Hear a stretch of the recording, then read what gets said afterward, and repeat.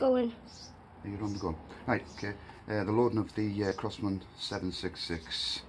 Um, fill the pellets by unscrewing that, uh, the ball bearing, sorry. That comes out. Putting the ball bearings in the, the hole. Put about 100 or so, not sure.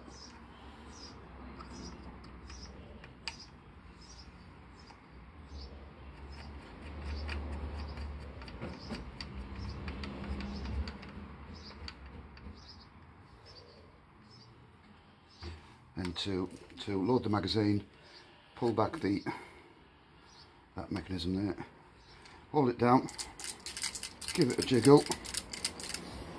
Ball bearings go in there however many you you want in. Close the magazine and then you're ready to pump cock it and fire it. Then just repeat repeat the process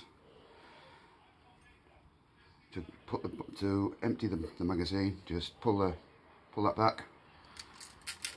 Let the ball bearings run back into the chamber and then you're good to fire pellets. Pull that open pop in a pellet close it pump it and fire. And that's the Crosman 766